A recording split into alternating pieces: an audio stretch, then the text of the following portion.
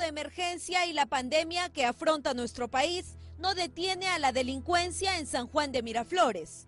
Los vecinos ya ni siquiera pueden ir a comprar alimentos porque son asaltados en la puerta de sus casas. Este es uno de los últimos robos en la urbanización El Arenal San Juan. Una mototaxi está en el lugar, pasa desapercibida, pero de ella baja el conductor cuando su cómplice cogotea a un hombre que iba a trabajar.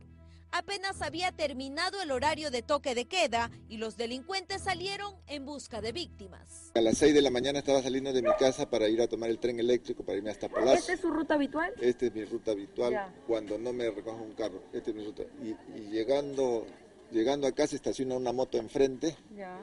enfrente, y el otro me ha cogoteado atrás. Atrás me ha cogoteado, me ha desmayado, el otro baja y me ha tirado puñetes. Entre dos. Entre dos. Se llevaron este, 180 soles y todo mi DNI, licencia de conducir, Billetera. multired, porta documentos, no tengo billetera. 180 soles y este Celular. y, y el celular que es del Estado, del Poder Judicial. El señor Oscar Serna es trabajador operativo del Poder Judicial y lo que genera más indignación en sus vecinos es que conocen muy bien a los delincuentes. Se trata de personas que viven en la zona y que a pesar de ser reconocidos por sus víctimas, siguen en libertad. Una persona me agarró por atrás y otra persona me golpeó, me golpea el pecho porque suelte mi celular.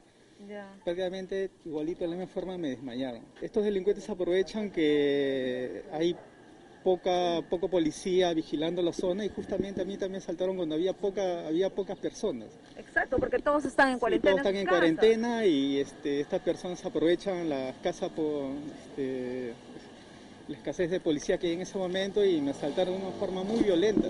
La gente humilde, la gente muy humilde, no puede ni salir al mercado porque en el trayecto de su casa al mercado le quitan el poco dinero que en este momento es básico y esencial para la alimentación de una familia. Ni siquiera en esta situación tienen consideración la delincuencia. Este otro robo a una vivienda además se registró en pleno horario de toque de queda y a pesar de que los dueños estaban en el interior del inmueble. Observe cómo tres personas, entre ellos una mujer, hacen todos los esfuerzos para robar una bicicleta. Tras varios intentos logran hacerlo y se van como si se tratara de un paseo familiar. Delincuentes saben, lo peor es que son de acá del barrio, o sea, no, ya la verdad estamos cansados porque siempre hay denuncias, denuncias y nunca vienen, no hay apoyo. Lamentablemente acá en la zona no, hay, no hay presencia ni policial ni militar. Entonces los ladrones hacen lo que le da la gana. Gerson Alexis Morales Díaz, de 23 años, es indicado por sus víctimas y vecinos. La policía lo detuvo en su domicilio. Es a quien vemos en imágenes cometiendo estos delitos. Pese a la evidencia, minutos antes del cierre de este informe, Gerson Morales fue puesto en libertad.